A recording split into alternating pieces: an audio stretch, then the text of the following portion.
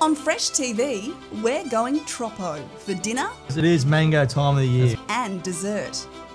Miles steps up with some epic Asian Come on! That is good. and close encounters right underneath me. of the saltwater kind.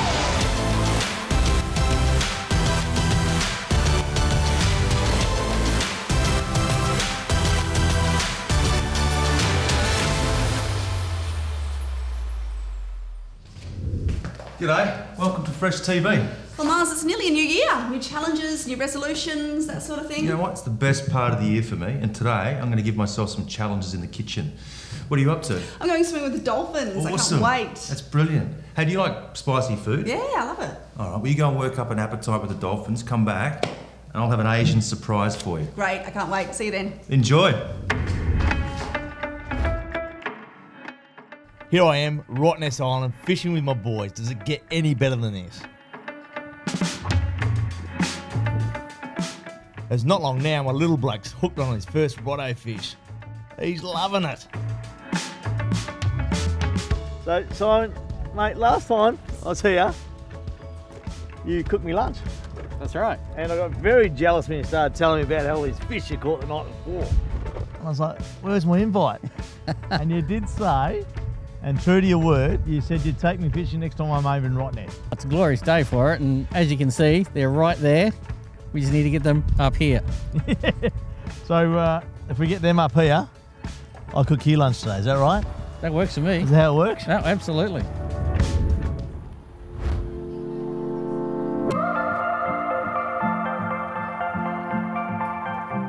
How are you, Tim? G'day, Miles. How are you? Pretty good, mate. Hey, listen, I'm doing a, uh, a dish, a Vietnamese chicken dish. Uh, I need some Asian ingredients. Now, let me know if I'm barking up the wrong tree here. Uh, lychees. Mate, you've come to the right shop. Super sweet, super tasty, new season lychees just over there, mate. Absolutely So fantastic. no Asian greengrocer, it's all here. All here, all in one shop, mate. Wow, it's Australian lychees. Yep. Times have changed. mate. 100% Australian lychees. These look good too, fresh. Uh, that is impressive. Um, one more thing, uh, chicken, boneless chicken thighs. Boneless chicken, Yep. just over this way, mate. Beauty. Thanks, bud. Cheers, buddy. Uh, buyers go to the markets every day and, and look for interesting and exciting new lines that we can uh, bring into the shop and make sure that we try and get as many WA produce lines as we can. So we're really looking for something a little bit interesting and different for our shops. Wembley's a very large supermarket and we carry here close to 30,000 lines. Uh, a lot more lines than you'll find in uh, a Woolworths or a Coles or an Aldi.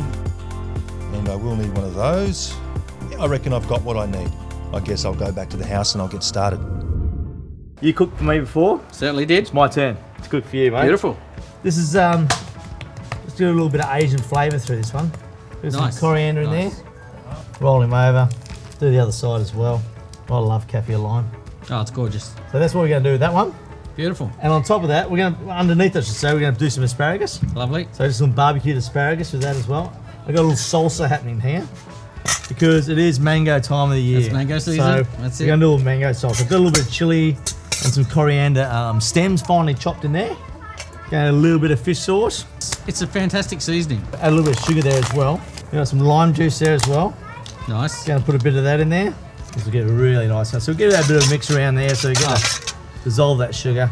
Yeah, you smell that already. That's beautiful. It's good, isn't it? Okay. And in that, we're just going to fresh mango. It's that time of the year. Bit of red capsicum, bit of onion as well. Fresh whole leaves there as well. I just, I'm going to put it all. I love Chuck it- coriander. Get it in there. Get it in there. I love coriander. Let's give that a mix. We'll just let this sort of seep into each other and really get all the flavours coming together. Okay, so we're going to put the asparagus down and get that going first. So I'll just put it on raw. I didn't bother blanching it first because it's nice to have a little crispness anyway, a little bit of seasoning. Yeah.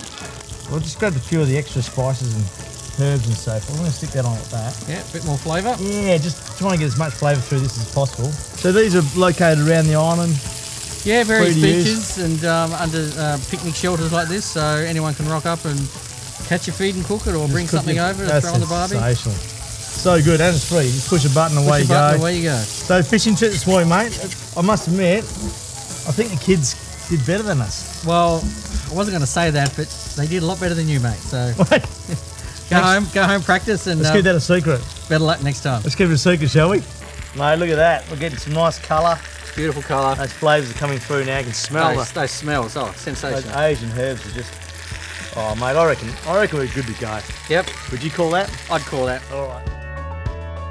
Well, there you go, Simon. Payback. This is called good karma. Good karma. Hopefully it's good. You can tell me in a second. Well, mate, if it tastes half as good as it looks, it's going to be fantastic.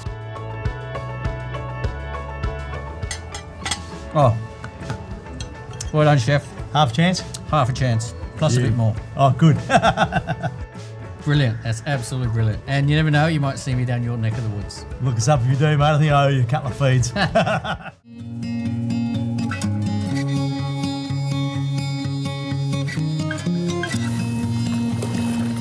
Well, today I'm in Bunbury at Koombana Bay. And while Miles is hopefully making me something delicious to eat, I'm about to squeeze into a wetsuit and jump off the side of a boat into the freezing cold water. And I can't wait. I'm on a swim with the dolphins tour, and it looks like these guys are already feeling pretty friendly today. They've made an appearance. The dolphins are in great form. See all that thrashing? This one's caught an octopus for breakfast. As we head out into the bay, there are dolphins all around us. Well, there they are. They're coming so close to the boat, and I just saw the baby flick its tail up. Sleek, blue grey, and playful. There's something magic about every sighting. Um, our research team's out every day, we're out every day, and we're learning all the time. We're watching the dolphins, we're taking photos. Phil Coulthart is a marine biologist with the Dolphin Discovery Centre. He's been studying the Koombana Bay dolphins for 15 years. Oh, yeah, yeah, they've got personalities. Yeah. Uh, some of them are local, so we see them all year round. So I've, I've got a dolphin that is my personal favourite, by the way. You'll have to show me. Yeah, yeah, he's, he's been here since I started. He was one year old when I started. So he keeps an eye on you then? He comes over all the time and plays with us. His name is. Oshay, so if we see Oshay today, I'll point him out for Okay, you. cool. We stop at one of the dolphins' favourite play spots. Then it's just a matter of letting them come to us. And when they do, it's incredible.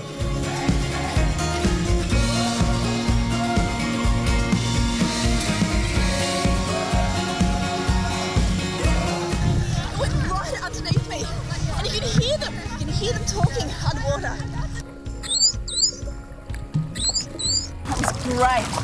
They came so close. And the little babies are so cute. There was a calf out there that's about nine months old. I can't wait to get back in. The young ones, are the, the babies, they're all sort of guarded by their mums a little bit, but they do have a bit of fun together as well. So they'll play while mum has a rest, a bit like a creche or a babysitting Yeah, service yeah. with mum they sisters. are. Oh, they're right there, yeah. hello, yeah. So we've got uh, a, a lo- lovely group here at the moment. They're, they're actually uh, very, very curious. You can see they came right to the boat. The Dolphin Discovery Centre is a not for profit organisation. They rely on donations and for the day to day running of the place, volunteers like Heidi, who's from London. So you have to look out for the dolphins and make sure that uh, people can see them, so you point them out. Uh, also, you get to ring the bell if they come in, and then you uh, all stand in a line in an interaction zone, and they come swim through you. You don't have this in the UK.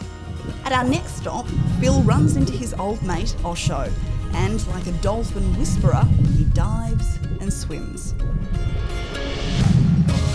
Phil, that was amazing. They were actually playing with you. They came up to Yeah. you specifically to say hello. Well, that was my favourite. That was Osho. That's the one I was telling you about this morning. He, he knows me, obviously. 15 years. He was only one when I started, so we were having a bit of fun, a bit of a play. We did some spins. We're whistling. We're talking to each other. Well, thanks heaps, Phil. That was just a beautiful experience. No problem. Glad you came.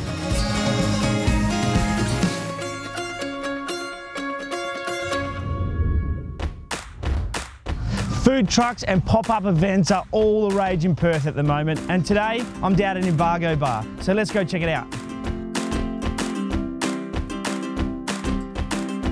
Have a look at this. There's hundreds of people all dining outside and really enjoying themselves. I've noticed a massive difference about the way people are dining now here in Perth. They're looking for a casual offering with fresh tasting food. You've probably seen in the last three or four years um, a lot more of the South American sort of flavoured trucks, the Argentinian, Brazilian sort of street food. Our inspiration is more New Orleans, Caribbean. I'm from Haiti myself. Spent some time in New Orleans, and it's been it's been awesome. I couldn't ask for anything else right now. Yeah, the food was really good. I liked it, and it was so cool how it comes out in this little like cardboard thing, and you get to sit down and eat it on the grass.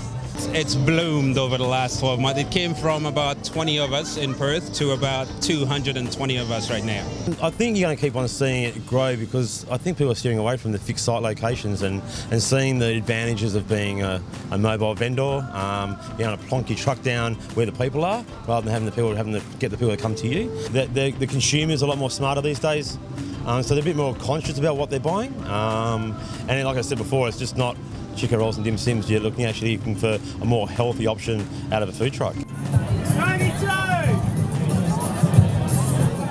The people just like enjoy going up to a food truck. They enjoy eating outside. Like look at this, look at this setting.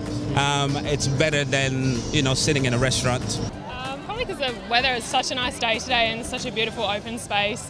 Um, great atmosphere on a Friday night. It's nowhere else, especially for summer. Like everyone loves it. It's better being outside than inside, so it's good. It's been a great few weeks down here at the South Perth foreshore, but embargo is now at Elizabeth Quay.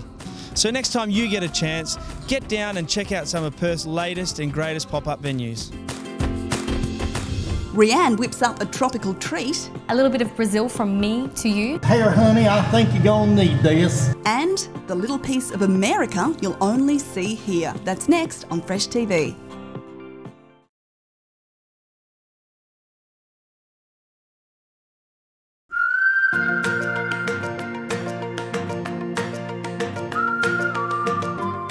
This segment of Fresh TV is brought to you by WA Clean Skin Cellars. Welcome to the stunning Winning Appliances showroom kitchen, where today I'm taking you to Brazil, where I'm going to show you how to make Brazilian quindins. Now this sounds a little bit crazy, but we do need 12 eggs for this. So it's a full dozen, at least it's easy to shop for.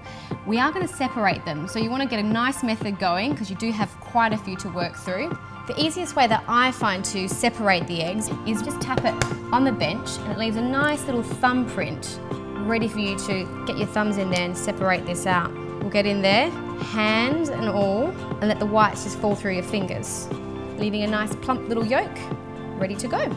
One of our most important ingredients is our coconut milk. This is just the milk, not the cream. We've got some passion fruit pulp. This is in syrup, so if you use fresh passion fruit pulp, you might need to add a little bit more sugar. Very important. Next up, desiccated coconut. To sweet, we've got caster sugar the vanilla bean paste. And lastly, and it sounds funny putting it in a dessert, but you do want to be adding a touch of salt. This enhances all of the flavours in there, the vanilla bean, the passion fruit, the coconut. From here, all we need to do is whisk this together. And once there's no lumps of ingredients other than that desiccated coconut, we're ready to pour it into our moulds. To line the moulds for our dessert, brush some unsalted butter right the way around some little ramekins. We're going to give it a little bit more assistance and flavour by adding some sugar to the lining. So for this one, we just roll it into one buttered mould into the other.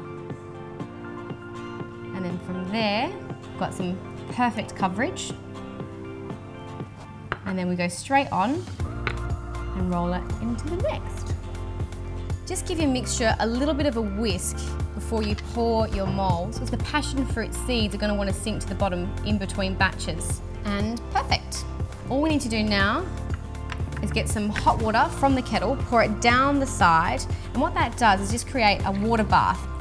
As long as it's halfway up, you know that it's going to just protect the bottom section of these desserts and not split the eggs. They're ready to go into the oven.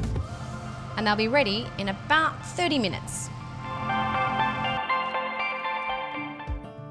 Today's Fresh TV kitchen is found in a Peter Stannard home. And for more inspirational homes with amazing kitchens, go to stannardgroup.com.au. I'm going to take things up a notch today. I'm going to cook with two of my favourite ingredients lots of chilies, lots of garlic. Barbecued Vietnamese chicken thighs served on a salad, an Asian salad with papaya, with cashew nuts, coriander, mint, lychees, all balanced out with an Asian dressing. Ambitious? I'm up for the challenge. First things first, our chicken. We're going to make our own marinade with some garlic, shallots, peppercorn, salt and sugar. Add some soy, pound them till they're a coarse paste, and then soak our boneless chicken thighs. While the chicken's absorbing our marinade, let's move on to the salad. First, shave some papaya. Thinly slice some cabbage and skin and pip some lychees. Throw it all in a bowl with some Vietnamese mint and coriander and toss to mix those flavours around. Next, our Nam Jim topping for the dish. Some garlic, chilli, and coriander root and pound until it's a paste. Mix it with a splash of fish sauce, lime juice, and some palm sugar. The chicken's been marinating for a few hours. It's time to fire up the barbecue. On they go. Now, cooking the meat through and waiting till the outside is nice and brown. Back inside now. Slice it up into thin strips. Add some cashews to our salad for some extra crunch, and then it's time to dish up. You know, I'm impressed with this. This looks great. Let's see what it tastes like. Come on! That is good. See Tony, a fight. I'm now the resident chef. After bobbing around in salt water for hours, I could use a sugar boost, and I can't resist a visit to Taffy's on the Marlston waterfront. So this is the raw product, is it? It is, yeah. What's in here?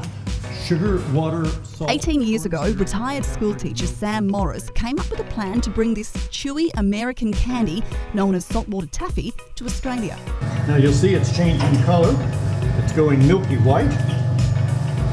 So the sugars are stretching. So he went back to the shop he bought his first saltwater taffy from as a kid.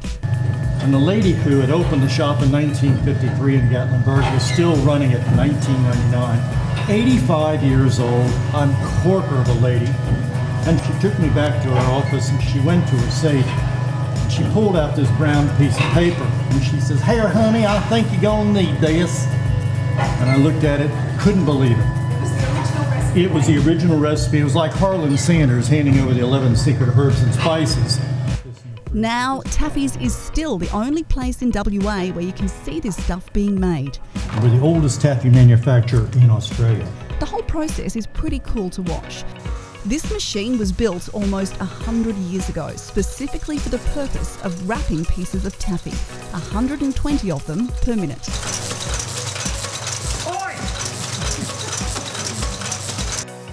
Taffy's also sells other American candies and chocolates like Turtles, Bear Claws, and Buttersnap, all made on the shop floor and all too tempting. Now, I can't promise there'll be any left to share by the time I get home. So our 30 minutes are up and these little guys are ready to come out of the oven. We're gonna pull this out, get them out of that hot water and let them set in the fridge for about four hours. While our quindins are setting in the fridge, we have plenty of time to knock together this pineapple, blueberry and orange scented little salsa. The trick to getting this salsa just right is actually cutting your fruit nice and small so it just sits on the side. You can have the little mouthfuls of quindin. And into the bowl, we're gonna add just enough orange zest to scent the salad mix. And now we'll just fold that through and that is almost finished. So we've just flipped these little guys out and how cute do they look? From here, all we need to do is get a little bit of our pineapple salsa and then a couple of little blueberries to top. And then to finish, toasted shaved coconut.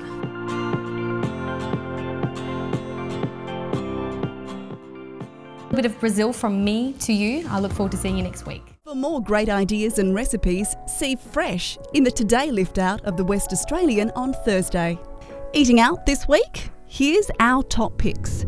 In the hills, the historic Chidlow Tavern offers great restaurant meals and tasty pub favourites in a cosy country setting. If it's Asian food you're craving, Jasmine Thai in Mandurah was a finalist in this year's Gold Plate Awards. Delicious, authentic food right on the boardwalk. For modern Australian fine dining at its best, try Clark's of North Beach and choose from a tasting or a la carte menu prepared by a multi award winning chef. South of the river, Johnny's Burger Joint in Canning Vale offers a great range of gourmet American style burgers, and the servings come big. For seafood, steak, pizza, and more, with stunning views over the water, you can't go past the Bayview Bar in Bunbury. Family friendly with fantastic service. And further south in Margaret River, Swings Tap House and Kitchen are open for breakfast, lunch, and dinner, serving simple rustic food that's locally sourced. And there are our tips for the week. Enjoy. This could be my masterpiece.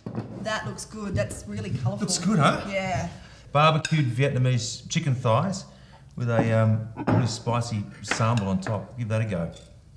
That is really good. I'm impressed. Thank no, you. You've done a really good job. Thank you. I brought you back something. Happy. Yeah. Can we have this with our dinner?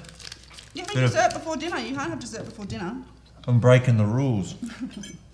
That's good. It is. That's good. That is really good. Thanks for joining us. We'll see you next week on Fresh TV. So, dolphins, how did you go? It was awesome. There were two babies there. Mm.